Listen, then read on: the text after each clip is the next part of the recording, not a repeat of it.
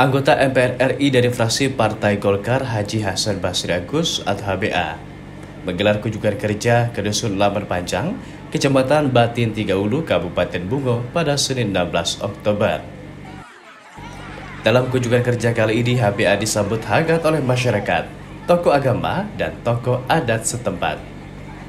Rio Dusun Lamar Panjang Datuk Jambris dalam kesempatan tersebut menyampaikan sejumlah aspirasi pada HBA. Mewakili masyarakat, ia meminta solusi atas persoalan debit air sungai yang acap kali tidak bisa ditanggul lagi. Sehingga berdampak pada banjir yang melanda beberapa rumah masyarakat sekitar. Dalam persoalan sungai ini, Jamris mengaku sudah banyak mengadu dan meminta pertolongan pada pemerintah kabupaten. Namun hingga saat ini solusi yang diberikan masih belum ada. Selain itu, Datuk Jamri juga meminta HBA membantu pembangunan rumah ibadah berupa masjid di Dusun Laman Panjang. Sebab masjid yang lama dinilai terlalu kecil untuk bisa menampung jumlah masyarakat di dusun. Dengan pihak kabupaten, kabupaten tidak menyanggupi hal ini Pak, karena membutuhkan uh, anggaran yang luar biasa besarnya. Nah, harapan kami uh, sungai ini bisa kita uh, dam kiri kanan sesuai dengan debit air yang ada. Karena batang air ini sekok pak tapi mata air itu banyak tak tanggung di atas itu pak. Dan yang kedua uh, harapan kami karena semakin hari semakin jiwa semakin bertambah. Sesuai dengan kebutuhan dusun laman panjang yaitu terkait dengan rumah ibadah Pak.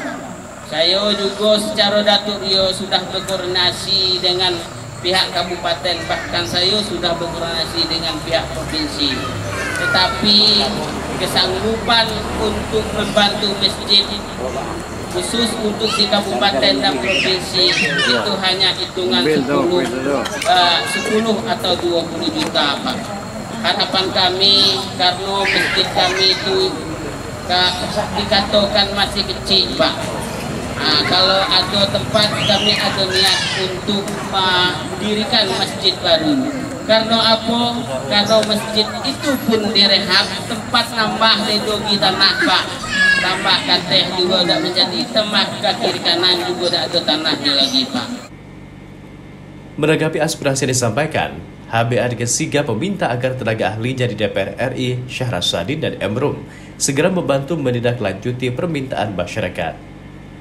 HBA mengatakan, sebagai anggota MPR RI, dirinya berhak untuk menyampaikan aspirasi ke pemerintah daerah. Mengenai sungai, ia menegaskan akan segera membuat surat yang ditujukan pada gubernur dan balai wilayah sungai selaku instansi terkait. Sebagai anggota MPR, saya berhak menyampaikan aspirasi nanti saya buat surat Pak Sadin Pak Sadin ini yang kita konsep-konsep surat. Tembusannya kita buat sini ya. pada Pak Gubernur. Dan ini setiap tahun ada banjir. Uh, setiap tahun ada banjir. Jadi perlu perhatian nanti termasuk juga pada balai. Balai pengairan itu nanti ya. tembuskan surat itu tugas saya menyampaikan aspirasi. Sedangkan bantuan yang lain tadi masalah masjid nanti Pak Rum akan jelaskan. Beliau adalah direktur program saya nanti Pak Kades bisa berbicara apa yang bisa kami bantu nanti pada itu tugas saya Pak sekalian. Datang sini saya berbahagia bisa ketemu ibu-ibu semua. Ini saya bisa Pak saya gitu. Ya orang kita di sini walaupun suasana kita jauh dari kota tapi tenang hati kita rasa dapat dapat. Yang penting beras padi sawah kita bantu setiap tahun kalau bisa swasembada plastik itu ya diutamakan. Usai menyampaikan aspirasinya, HBA dan masyarakat menyempatkan untuk saling berdialog sebelum akhirnya mengakhiri acara.